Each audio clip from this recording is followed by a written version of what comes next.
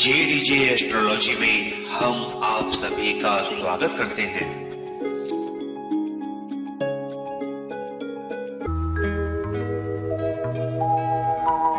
विघ्नेश्वराय वरदाय, सुरप्रियाय, लम्बोदराय सकलाय जगद्विताय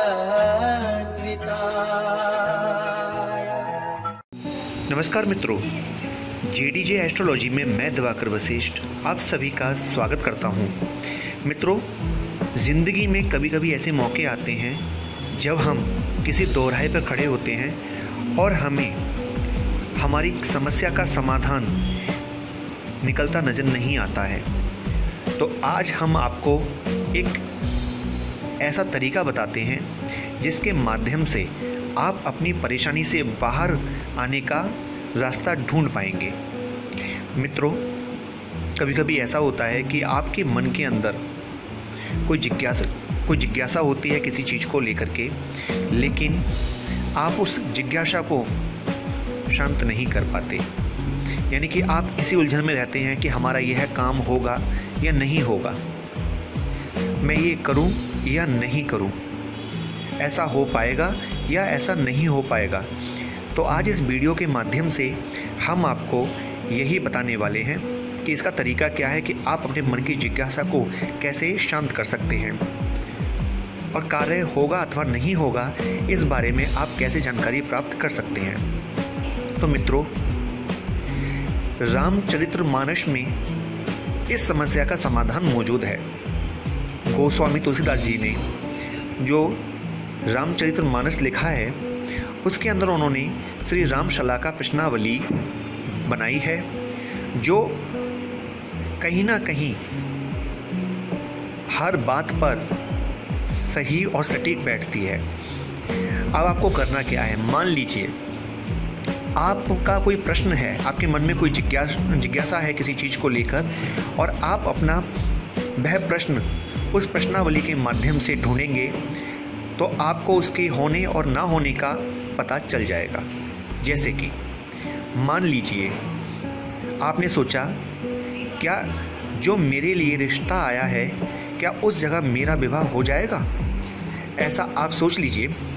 और इसके अलावा कोई भी प्रश्न हो तो उसको भी आप सोच सकते हैं कि मेरा ये काम हो जाएगा। उसके बाद आपको क्या करना है? आपको भगवान श्री राम जी के चरणों में ध्यान लगाना है, यानी कि भगवान श्री राम का ध्यान करना है, और उसके बाद अपने हाथ की ये वाली उंगली या फिर कोई एक कलम या पेन ले करके आँखें बंद करके ये राम शलाखा जो है, इसमें कहीं भी एक जगह आप रख दीजिए। और जहाँ पर आपने रखी है, उस जगह का जो शब्द है, उसको आप किसी और कागज़ पर लिख लीजिए। जैसे कि इसमें लिखा हुआ है सा इसके बाद का अब नवा अंक फिर गिनिए। एक, दो, तीन, चार, पाँच, छ, सात, आठ, नौ। तो ये दो अक्षर हो गए। इसके बाद फिर नवा अक्षर गिनिए। तो एक, दो, तीन, चार, पाँच, छ, सात, आठ, नौ।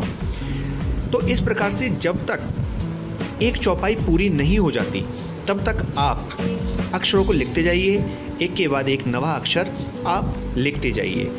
चौपाई ज़रूरी नहीं है, शुरुआत से ही शुरू हो।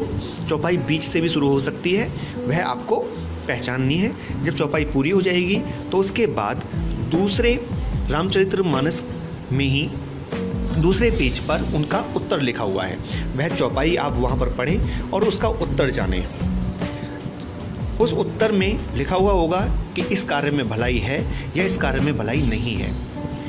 जैसा होना होगा आपके साथ, वैसा आपको उसका उत्तर प्राप्त हो जाएगा। कार्य का होना या ना होना रामचरित्र मानस के माध्यम से आपको प्राप्त हो जाएगा। और यह मैंने कई बार खुद पर भी और और लोगों पर भी इसको प्रयोग करके देखा है और मैंने हर बार इसको हर तरह से समस्या का समाधान करते हुए पाया है, क्योंकि ये जो रामचरित्र मानस है, इसकी जो ताकत है, जो भगवान का साक्षात ये ग्रंथ है भगवान श्री रामचंद्र जी का तो इसका सवाल का जवाब बिल्कुल सटीक आता है। तो आप भी इस प्रकार से अपनी समस्या का समाधान कर सकते हैं। बहुत सारे माता बहन भाई बंधुओं को इसके बारे में पता होगा, जिनको पता नहीं है, उनके लिए हमने ये वीडियो बनाया है। आशा करते हैं आप सभी को ये जानकारी पसंद आएगी। इसी के साथ मैं आप सभी से विदा लेता हूँ। नमस्कार।